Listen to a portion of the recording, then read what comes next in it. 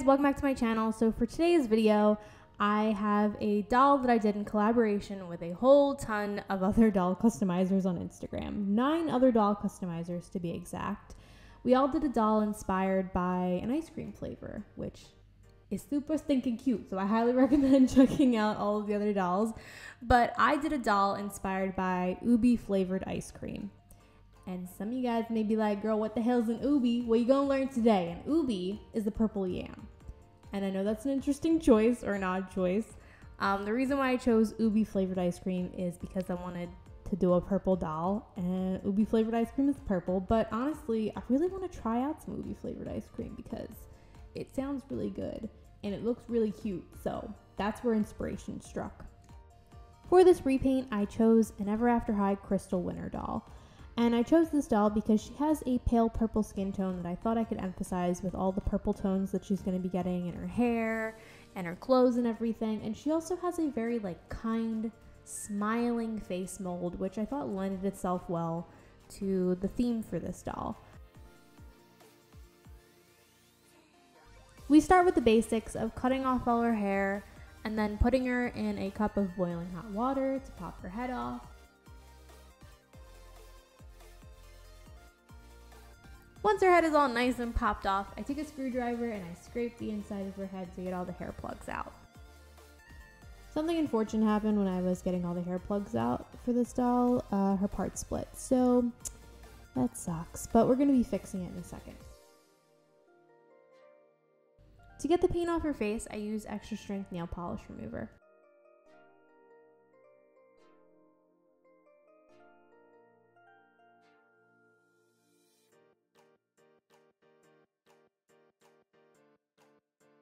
All right, so we gotta fix that big old gaping hole in her head.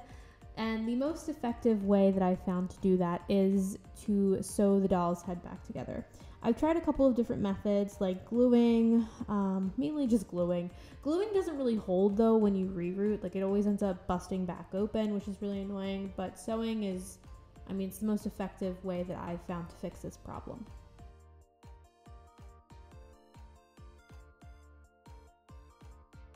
After some minor surgery on her head, she's as good as new.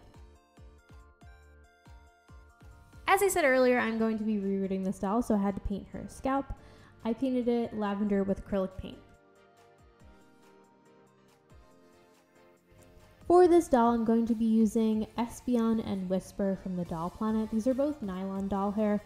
I wanted to give her kind of like a highlighted effect to her hair, so that's why I used two different tones of purple.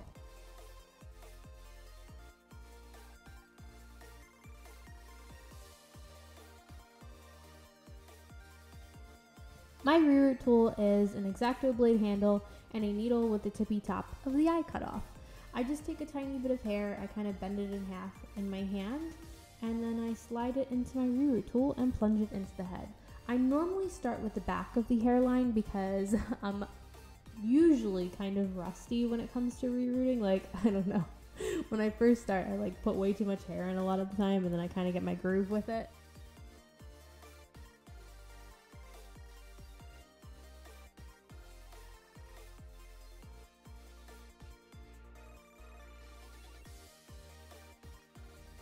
After about five hours and a whole lot of YouTube and Netflix later, I am finally done with rerooting.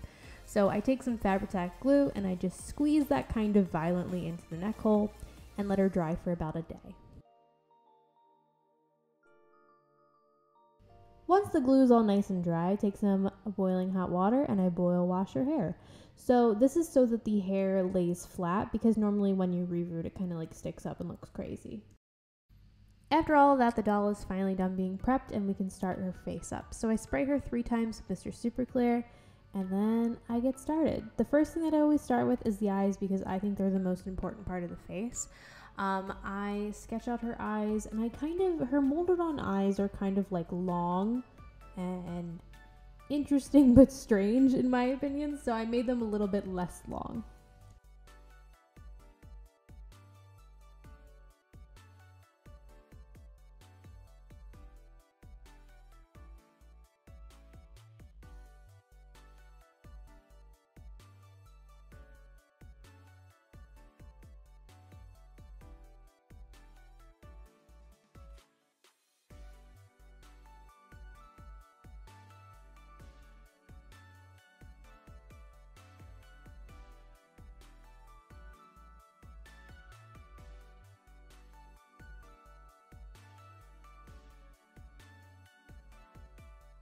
I like my dolls to be very blushed, or very flushed, I guess. So I add a lot of uh, pink to their face and I shade around the face with varying tones of purple.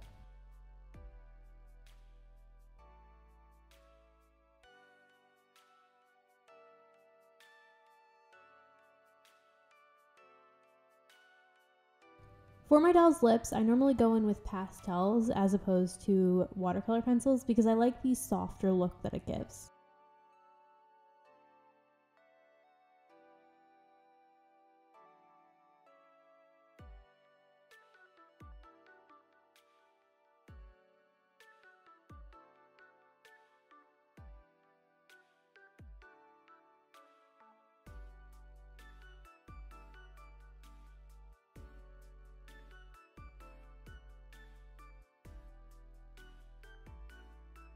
At times when applying pastels, I'll grab for a Q-tip. This is so that I can get a more kind of dense, pigmented application of color because sometimes with brushes, it gives you a slight wash.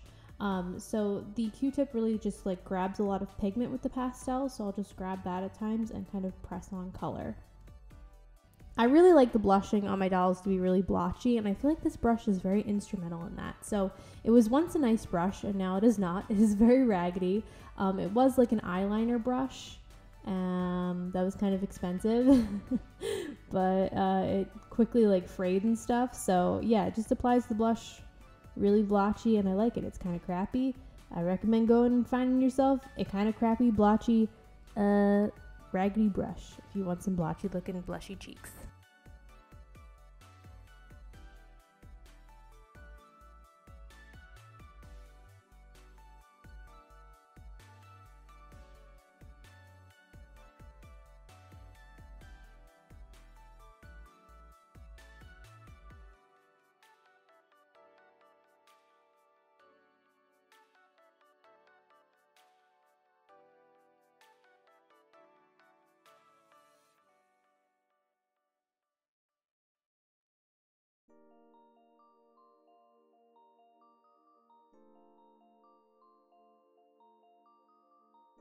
With a really light blue watercolor pencil, I add branch-like pencil marks around the eyes, the forehead, underneath the eyes, the temples, and this is to look like veins.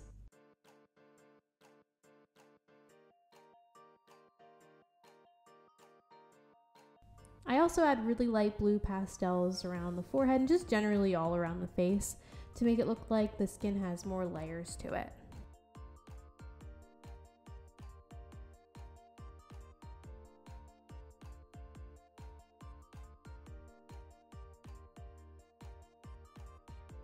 I think I mentioned earlier that I've been trying to concentrate lately on making doll skin really look like skin, and I just really dig how this doll's skin turned out.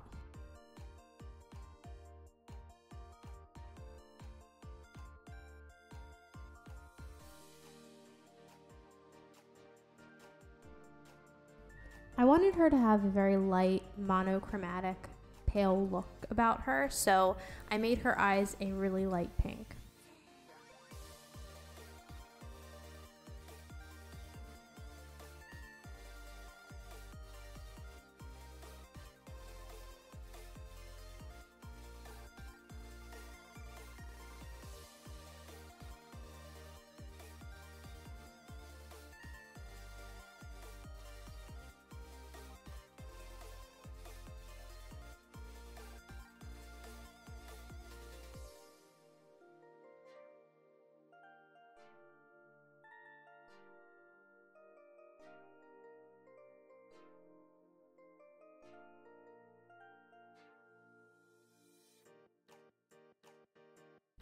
For this doll's eyebrows, I was really inspired by the Doll fairies melodic doll's eyebrows.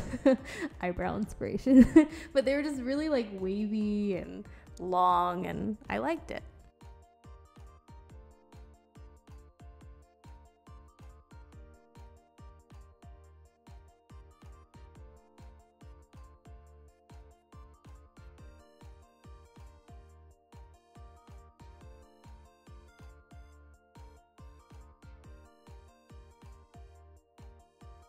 Of course, we gotta add copious amounts of Pearl Ex's Macro Pearl all over her face. If you guys are gonna get one of those, get that one. It's so good. With a white pencil, I add highlights around the eyes. I'm basically adding like a highlight to each wrinkle that I put on her eyes. I like to add lots of wrinkles to my dolls. Um, but yeah, I feel like this is just a really important finishing step. It really makes me feel like the doll is like almost done at this point, and it's kind of exciting. With a dark purple watercolor pencil, I add irises to her eyes.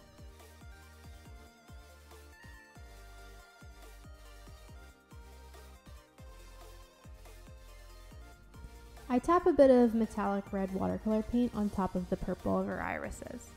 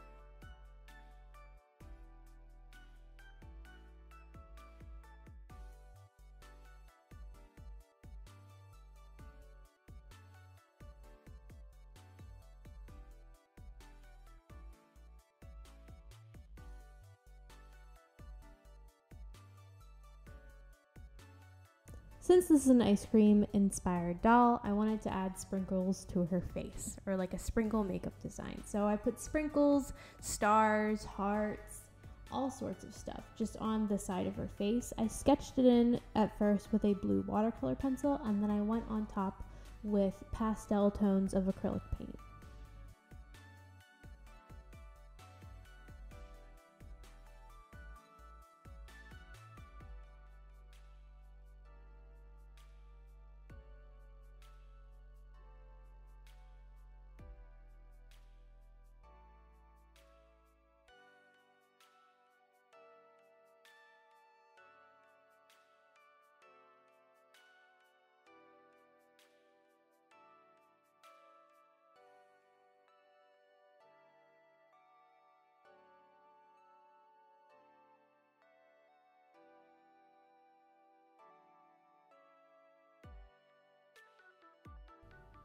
The last thing that we are doing for this face up is I am adding Vallejo gloss to her lips.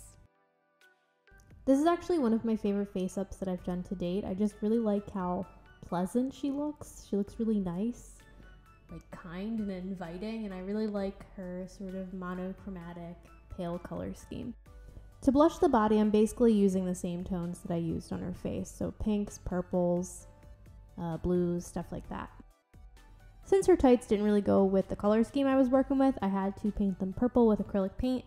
I painted them purple and then I also went on top of it with a duochrome purple acrylic paint that I have. And I set everything with a matte varnish.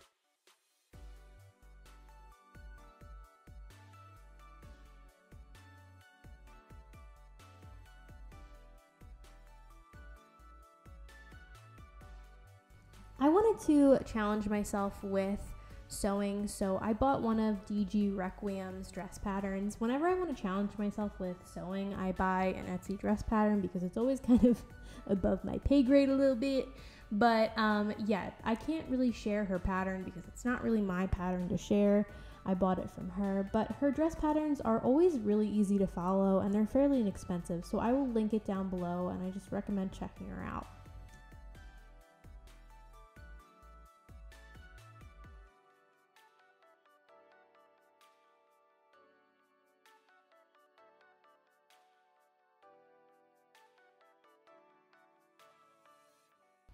So we're making a doll purse, an ice cream doll purse to be exact. So I sketched out the pattern that I'm going to be using. I added a seam allowance and there's two parts to this pattern. The first part is the ice cream part and then the cone part.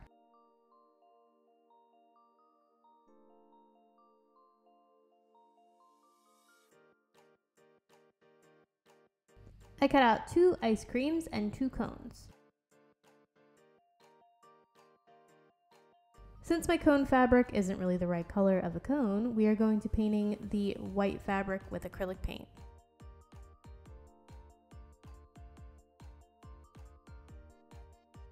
While we're at it, we're also going to be adding the details with acrylic paint. So I am shading in the ice cream with basically a black acrylic paint mixed together. And I'm just looking at reference for this. I recommend if you're gonna paint anything, look at reference. But once I'm done shading in the ice cream, I'm adding the waffle texture to the cone. So I'm first going in with the highlights and then we're going to be shading it with a deeper color.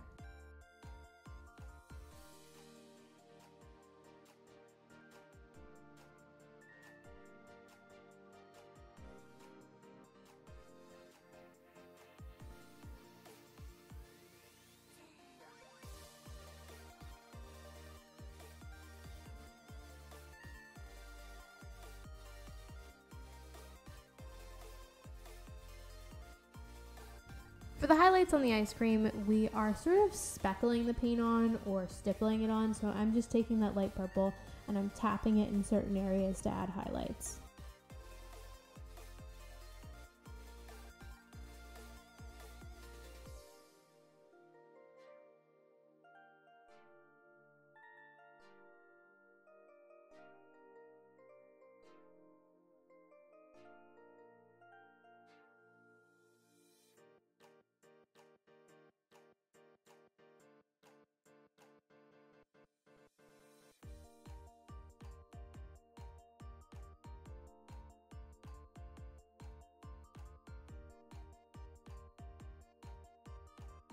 Once that's all nice and dry, I sewed the cone together good side to good side, making sure to keep that opening in the top and then flipping it.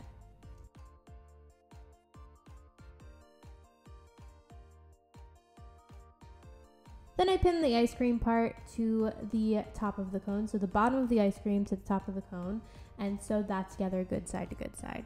Making sure again to keep that opening in the top so that my purse can be functional. This is the finished sewing result, and might I say, I really like it. It's really cute. It looks like an ice cream cone. Since this is a purse, she needs a strap, so I took some purple ribbon, I took my Fabri-Tac glue, and I just glued the ribbon to the purse.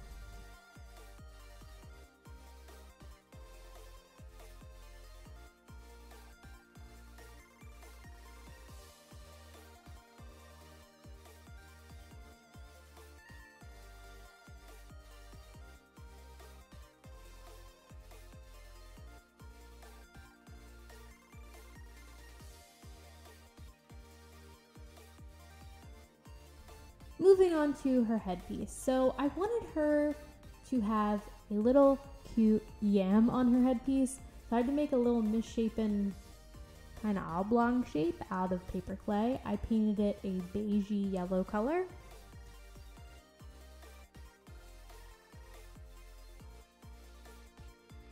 I also splattered it with browns and purples because yams are kind of speckly looking.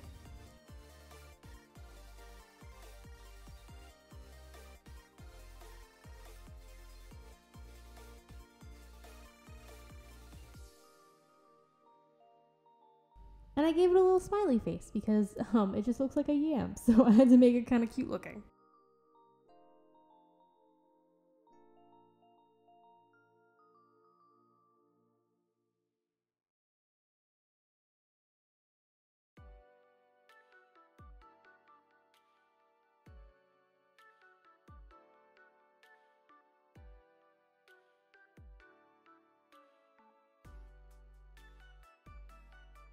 And there she is. She looks like a potato. I love her so much.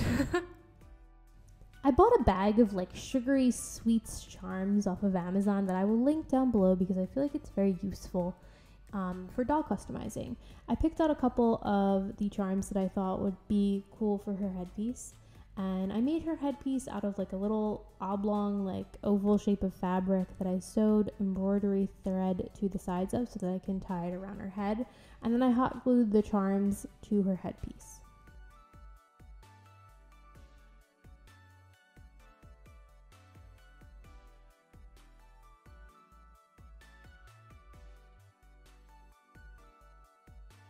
I decided her headpiece needs sparkles because sparkles makes everything better, so I added some sparkles to her headpiece.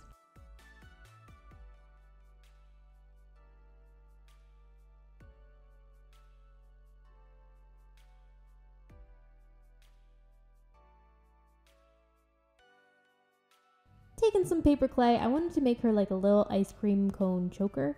So I took the paper clay and I made a little ice cream cone shape with it.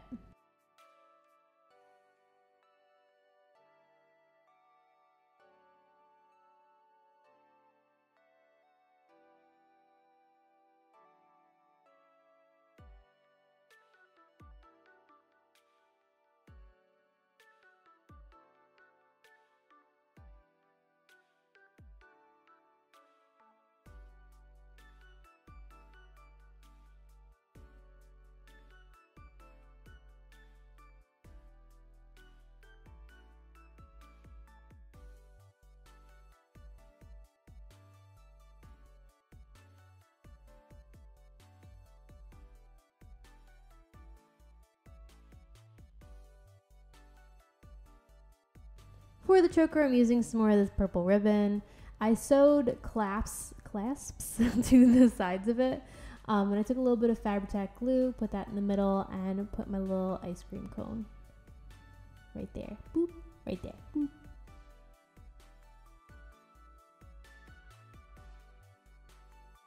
I thought sneakers would go pretty well with her dress, so I took these. I think these were Madeline Hatter sneakers that I had in like my bag full of Dell shoes um, but I painted in the details with acrylic paints.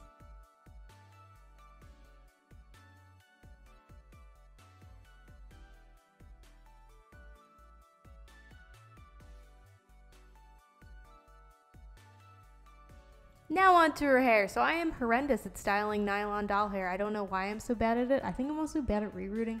I don't know. I'm just way more comfortable with yarn, but I'm trying y'all with this nylon doll hair. I just like the look of it. I like the look of yarn too, honestly. But anyway, so I tried the straw method where you wrap the hair around a straw and then you wrap some tinfoil around the hair and like bobby pin it in place.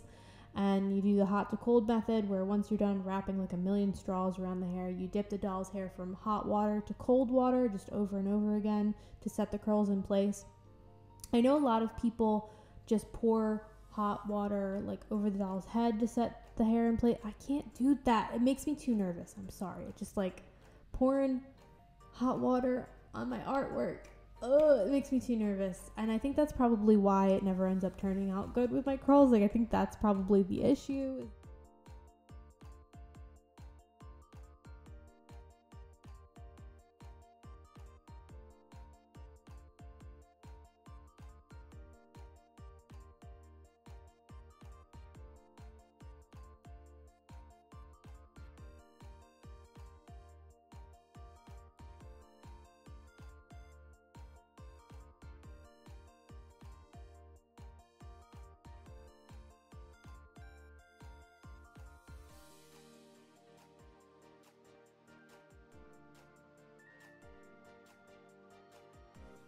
After I heated up the plastic to put her head back on, um, basically the few curls that I had were not there anymore. like straightened out. I, I don't know.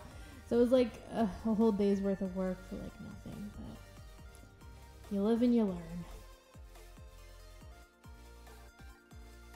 Overall, this is how she turned out, and I am pretty happy with her. I think that Crystal Winter is a really like awesome base if you want to make a very like sweet, kind looking character.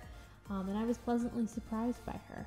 And I just like how her accessories turned out. I like her makeup on her face, and I hope you guys like her too. If you guys do doll customization, I'd really recommend doing a like sweets themed or ice cream themed doll.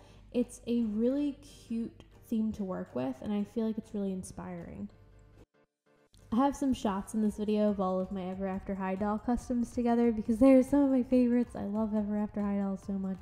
I think I like them more than Monster High, which is surprising because I feel like lots of people like Monster High over, over Ever After High, but they just make such cute doll bases, like such cute, sweet doll bases.